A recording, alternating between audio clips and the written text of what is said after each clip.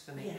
So distance learning, it also suits my style. I, I did 15 years working in higher education and we did a lot of work on distance learning programs using computers for learning, helping people to be more independent in their learning and that suits me.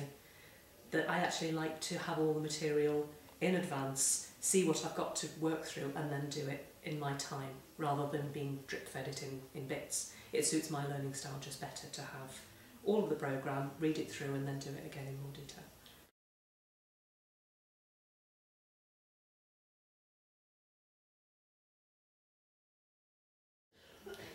Yes, I would recommend the course to other people. In fact, I already have, and someone took up um, a place on the second coaching course.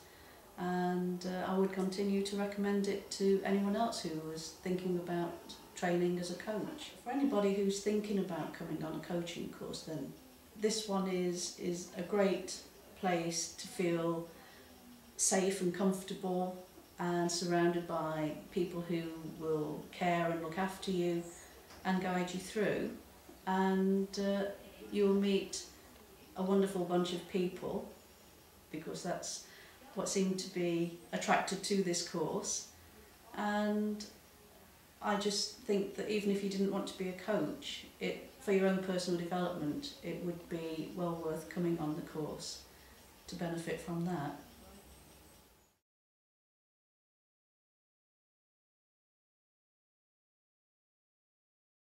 say that the support is just so fabulous and that you know part of it is learning that you know you can do whatever you want to do you can be whoever you want to be in a sense and the whole way that the program is delivered really supports that. So you know there'll be you'll be welcomed with open arms I think and you'd be made to feel comfortable very quickly.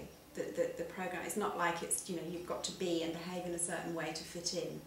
It's, it's very much that in, people's individuality is, is kind of catered for and encouraged rather than uh, discouraged. So go for it, I'd say. If you've got if you've got doubts or worries, then just give it a try.